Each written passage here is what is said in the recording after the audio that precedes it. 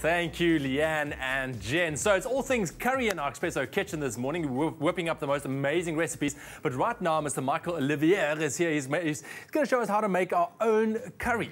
So, Mr. Michael, because I think when it comes to curry, I'm normally very intimidated as to making it myself. Yeah. But you say you can actually do it. It's dead easy. And Yeah. the thing is that once you've made your basic, then you can do you can ring the changes. Okay. So if you want to have a little bit more ginger, if you want to have a little bit more chili, if you want it hotter, That's where your personal little yeah. preference, Yeah. uh, preferences come in. So we're going to make it just a b- very basic one. a garam masala. Yeah. So we've got Nice. um, cumin and coriander All right. and fenugreek seeds.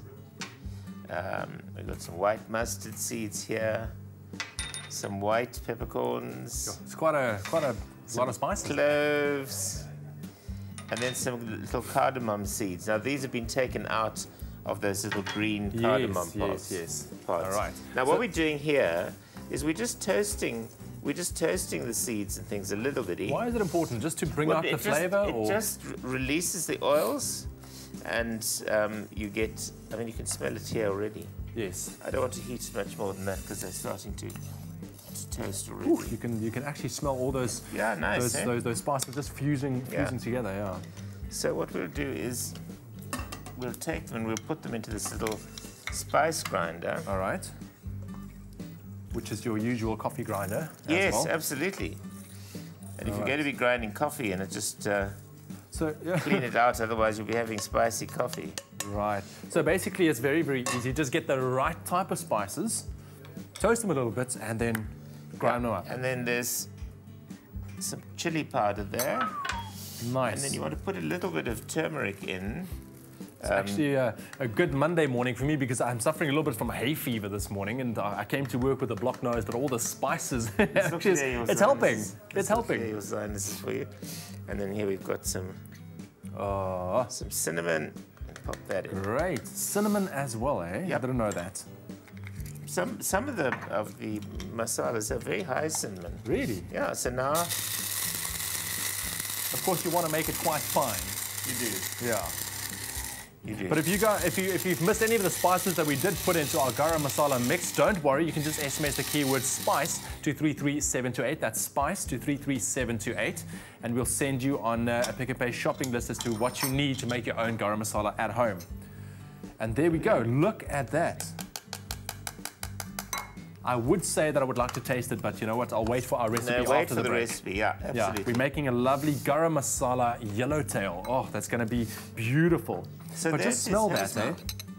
That's stunning. That smells divine. That Now the nice thing is that divine. all of these ingredients you can get in Pick n Pay. Great. It's very easy. So there we go. That's our garam masala. We're going to use that after the break to make a very delicious yellowtail. And stay tuned because I'll tell you about our lovely curry competition that could be uh, could be seeing you as our curry king or queen of South Africa. Stay tuned. We found goodness in Goedgedacht olive oil and all the good they do for the community. Pick n Pay, always there for you. It's my feel good breakfast show. Welcome back. You tune into Expresso here on SABC3. We're back in the kitchen with Mr. Michael Olivier. Just before the break, we made uh, our very own garam masala. Now we're going to put that to good use and make a yellowtail coated in our masala. Yep. Oh, that's lovely. That that smell of the masala is just Isn't it incredible. It's just incredible. So, Mr. Michael, what do we need now? What are we doing? What we're going to do is we're going to take some onion, All right. ginger, Sorry, that was garlic. Aha. some ginger, Okay, so garlic, onion, and ginger. yeah, a bit of chili, Oh, a little bit more chili, eh? bit of chili. well, you just want to get it nicely, nicely warm. And here we've got a, a generous pinch of hot chili powder. All right.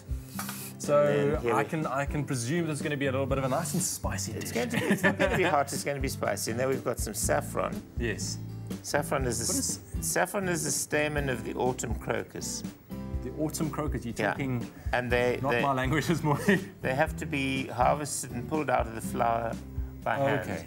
Wow, okay. And there's a farm up the up the west coast that grows crocus, and their first crop was 114 grams. the the first crop. The first crop. Wow.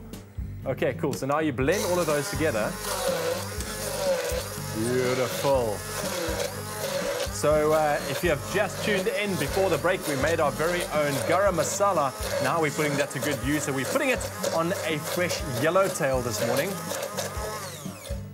And then what you do with the with the yellowtail, which I should Yes. really have done as first thing, All right. It's just to cut some slashes Oh, okay. in the meat, because then the the, um, yeah. the the curry will go down into it, and then just a good squeeze of of, Lovely of lemon. lemon juice, and then when you've when you've got that going, then you can start making your Okay.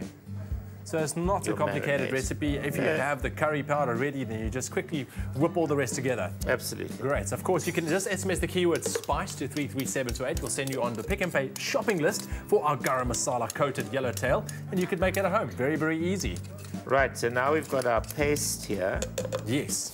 and then what we're going to do is we're going to we're going to add, We're gonna add a teaspoon of our Oh, lovely. garam masala That's and lovely. coconut milk. Oh, what a combination.